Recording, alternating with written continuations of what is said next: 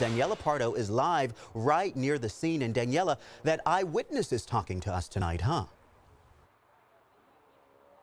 Yeah, he is, Chris. We're going to hear from him in just a second. What we know so far is that this happened just right before 8 p.m. here in Modesto on Highway 99 southbound near Crow's Landing Road. And I'm just going to get out of the way to show you the plane itself. It's incredible to know that the pilot was able to walk away. He's doing okay. The plane caught fire after he walked away. And we know that he is a 59 year old pilot from the Santa Cruz area.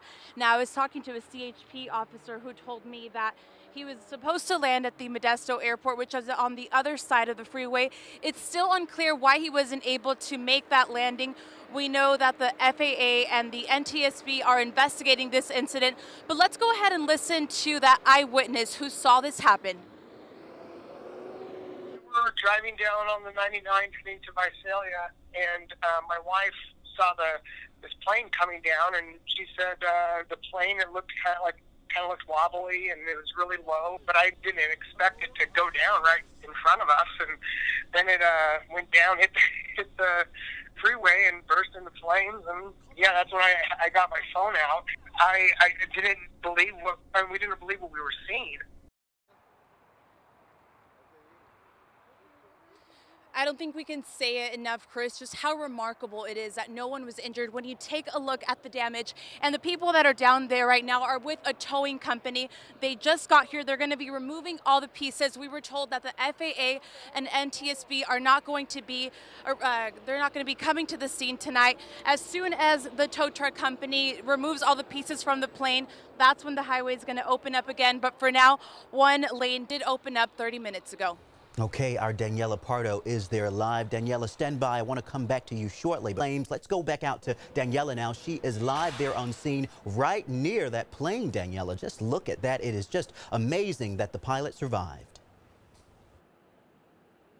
It is, Chris, and we wanted to give you a closer look, so we were able to come down to the freeway. Randy, our photographer, is going to zoom in so that we can show you what's left of the plane like we've been saying, the pilot was able to land um, here on Highway 99. He got out made it okay, and then that it was afterwards that the plane caught fire. And what we know from an officer I talked to is that he was supposed to land at the Modesto Airport, which is on the other side of the freeway, and the FAA and the NTSB are still investigating why it is that he wasn't able to make that landing. But um, right now here on the freeway, we're just seeing a lot of looky-loos, a lot of people stopping and not stopping, but just slowing down to take videos and pictures of the scene because, of course, it's not every day that you see a plane on the freeway, but thankfully the pilot is okay, and we will continue to follow the story, Chris, to bring you any other developments. Mm -hmm. Surreal images there of that plane there along Highway 99.